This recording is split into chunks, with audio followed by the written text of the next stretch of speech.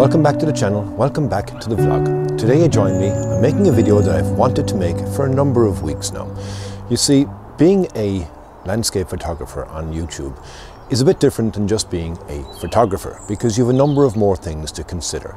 Number one, you have to film yourself and you also have to make sure when you're filming yourself that it makes a storytelling so that somebody watching it actually can enjoy it.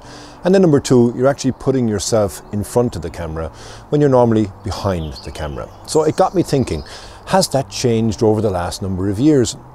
And rather just answer the question myself, I said what I'd do is I'd reach out to the community of landscape photographers here on YouTube and to get their thoughts in relation to this question.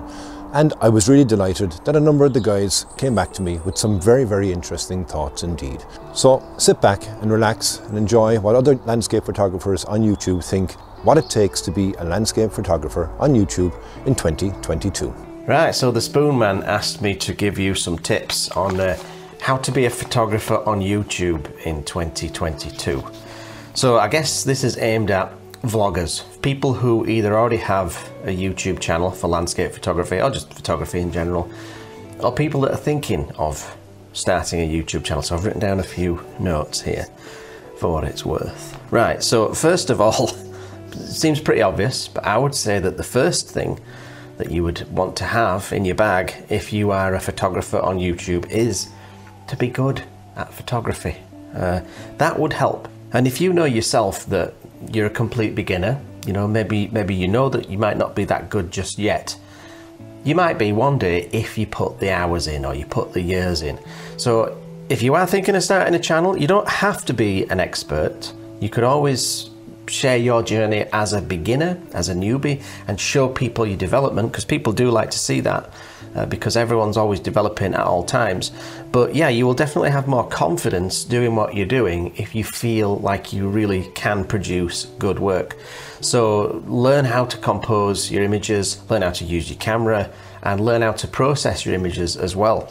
That will make you far more confident when you're trying to teach people if you are doing teaching in your videos how to get similar results to what you're getting. But like I said, if you are a total noob to this, that's okay. You, you, you know, you can just say, well, I'm just figuring this out. Here's what I've learned. And you can share with people how you came to that conclusion, what it was that, that taught you that lesson. And they'll probably enjoy seeing that process if you're entertaining. So that brings me on to the next one.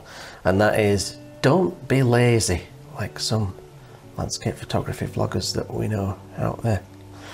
What I would say is try and think when you're on location and you're shooting try and think how can I make this better? How can I take this to the next level? Not just in terms of your actual photography, but also in terms of what you record on, onto video. So, for example, I just recently went on a trip where I, I, well, Colin brought his canoe, and all three of us paddled out to this place, which we could have got to probably a lot easier just by hiking, although it might have been a bit more dangerous. But it was more entertaining for the video to have us paddle out, even though it was a lot of hassle and uh, you know quite painful to do. But anyway, the point I'm making is if you can just always have it in your mind. How do I take this to the next level? How can I improve this image that I'm trying to capture? Or how can I improve this video clip that I'm trying to film? How can I take it to the next level and just, just make it better, whether it's getting the drone up in the air or getting down on the ground and shooting up or finding something to frame the shot. I'm sure if you get into that mental mindset of not being lazy and always thinking about how can I make this better, which you should do in everything in life really that's kind of like a, life lesson but if you do it in your in your vlogs or in your photography you, you'll just produce better work just automatically think that way and you'll produce better work. Hi, I'm Julian Baird, a landscape photographer and YouTube content creator. I think there's one bit of advice I would give to any photographer with a YouTube channel, and that is be yourself. Because there is one thing that you have that no other YouTube channel has, and that is, of course, you. Share your story, share your passion for your photography because people will connect with genuine content from a passionate photographer much more than any other type of video. So tell your story. All right, what does it take to be a YouTuber in 2022, or more specifically, a photographer YouTuber in 2022? Well, unless you're dashingly handsome like myself, then it is very hard to make it in, uh, in YouTube. But what I would recommend is that you talk about or cover or kind of approach things that are new to the photography world. Try to find your niche. There is absolutely no point in copying what's already out there. And there's a lot of landscape photographers in a very small niche area. So it's getting a little saturated and most of us, including myself, we tend to do the same thing over and over again. Now and then you'll come across someone that's doing something quite unique or is doing it in a different way. The problem with photography is that it's all been said and done before, so you really have to approach it with a fresh, unique way. I'd also suggest that uh, I wouldn't get into YouTube for the money. Uh, it's more of a passion and eventually uh, the subscribers and the views will come if you're passionate enough about it and just stick with it. Just have fun with it. That's the main thing is if you're not having fun doing it, then you're not going to last very long. So and then the next thing I would say is if you get successful at this, if your channel actually takes off, you better make sure that whatever it is that, that you've done that people like is also something that you enjoy making because if it does take off and this becomes your, your living, guess what?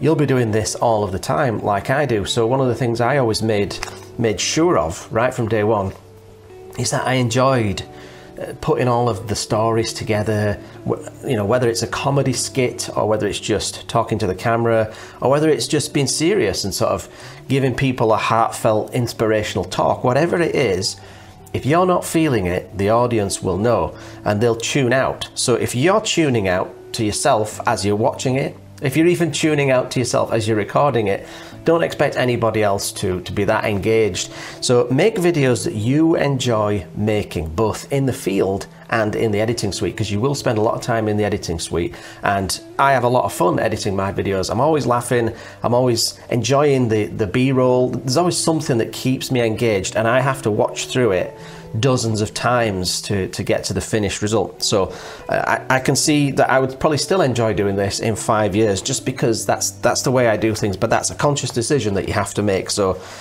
be careful about the, the direction that you take because if it does take off but you don't really enjoy it, you're kind of stuck. You know, you'll, you'll eventually burn out. Hey guys, my name is Mike. And I'm Chris. So our tip is to think about who is watching your videos and then decide on a target audience. If it's entertainment, that's great. And if it's teaching, that's great too. But make videos with a purpose. Don't try and film yourself just walking in front of the camera and talking about your settings. But who is the person that watches your videos? Is it a beginner that just wants to improve their photography? Or people just wanting some entertainment and want to see some quality storytelling? If you can answer these questions, you'll be able to create the type of videos your audience will watch every time you put one out. Which leads us on to the next thing, and that is to be authentic. So if you are creating a, a persona that is not sustainable, it's not really who you are, it'll eventually wear out. Now, it's okay to start off like that. You know, we all try the presenter route. We all kind of talk to the camera and try and figure out how we do this. So you will go through a phase of not being comfortable in your own skin, especially when you're, watching yourself back on video. But eventually it, it becomes a lot easier and you get more comfortable with it. And the, the true you, the authentic you, will shine through and hopefully people enjoy that, people like it. But because you have to continuously do this and it has to be sustainable, you really do have to be authentic, be real, and it'll be far less exhausting than trying to put up some persona. Even if you're doing silly skits and characters like I do, that, that doesn't matter. At some point, you always have to revert back to who you really are. And uh, if you just keep it authentic, uh, it's going to be a lot easier. So thanks, Darren, for including me in this, mate. Really appreciate it. So the one thing that I would really suggest you do as a YouTuber in 2022 for me is do it for the enjoyment because more than anything else, if you don't enjoy doing it, you won't keep it up. And that links to another piece of information that I want to give you. I'm going to give you a two for one. So if you're doing it for the love of it, it makes you want to do it more. And on top of that, you have to keep it consistent. You have to do it over and over again. You have to keep doing more and more and more. Every week, get out there and do it. I've only really found this this last year or so to keep consistent and consistently putting stuff out every week is the only way to prog- progress in 2022. So my tip for being a, a, somewhat successful photographer on YouTube is it's a bit of a counterintuitive one because you can chase the analytics and chase numbers and there are tools out there which will show you what's trending and what's popular and you can create these videos targeted towards specific audience members and grow your channel that way. Um, but that's that's not how I do it and that's not how I would ever want to do it. Uh, so the tip that I would give, not necessarily to be the most successful YouTuber um, in history, but certainly to have longevity and to be happy in what you're doing. And that is to make videos that you yourself want to watch. Um, be authentic and have fun whilst doing it because by creating YouTube videos that you yourself would want to watch, you are far more likely to be passionate about what it is that you're filming um, and come across far more authentic and enthusiastic. And I think people relate to that. It's very personable. You know, show the misery, show the happiness, show the joy, show the successes, and show the failures. But make sure that you're passionate about what you're doing, passionate about what you're making.